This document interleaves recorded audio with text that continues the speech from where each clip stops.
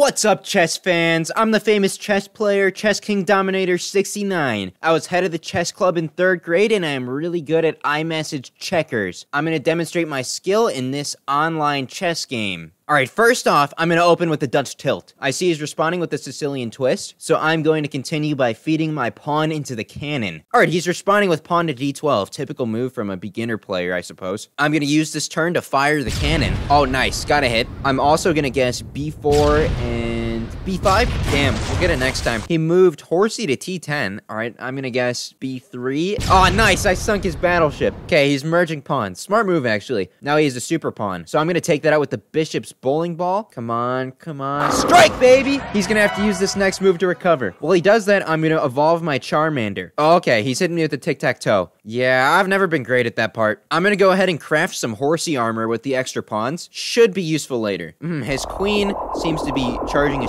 spirit move of some sort. We'll see how that pans out later in the game. But while he's busy, I'm gonna start combining numbers in the corner. Yeah, just as I predicted. He's sending his horsey in. I'm gonna respond with mine. Rule one of chess, never attack an armored horsey with a naked horsey. Write this down, guys. Looks like his other horsey is mourning his friend. Yep, rule two of chess. Never let your guard down. Add that to your notes. These are all tips I learned from my chess club grandmaster, Count Vardamius, while we were training together in the Sri Lankan wilds. Great man. Excellent teacher. Rest his soul. Oh! He thought he could pull one on me. Yeah, you see this? He went and filled up his camp while I was reminiscing. We can utilize our newly upgraded pawn cannon to take that out. Let's see here. Let's see. Rook to h3.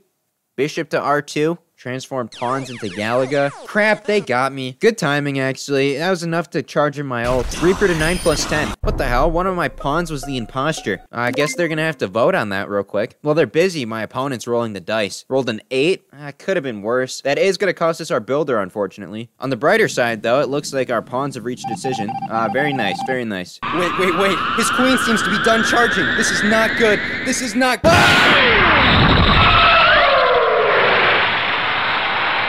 How could you? Wait, the 2048! I get a smash ball! Charizard to E11! Triple finish! Ah! You made me do that, you son of a bitch! It's just you and me. Let's finish this. Warrior to warrior. Foolish boy. That voice. Master Vardamius? None other. But you died! I watched you die in Sri Lanka. I intended for you to believe that. You see, I fake my own death in order to go undetected as I start my pirated chess game empire. Want Chess 3 for Xbox? I can't believe it. You were like a father to me. What would the World Chess Organization think?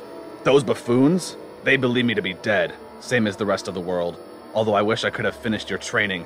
You always showed promise. Join me. Help me build my empire. I have a source providing 5,000 copies of Star Wars Chess tomorrow. We can play together, just like old times. No. I'm turning you in. Your treachery ends now. Unfortunately, you won't be doing that. Don't make me do this, Master.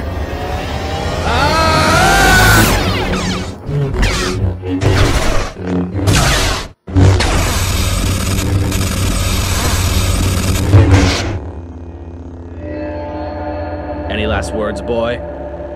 Rule 3 of chess. Watch out for surprise horsies.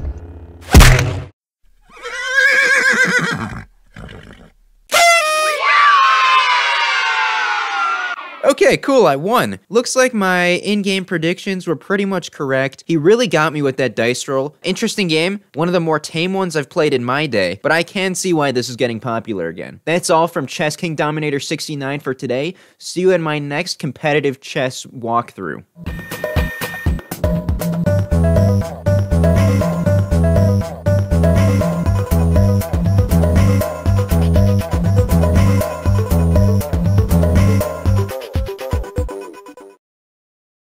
That's chess?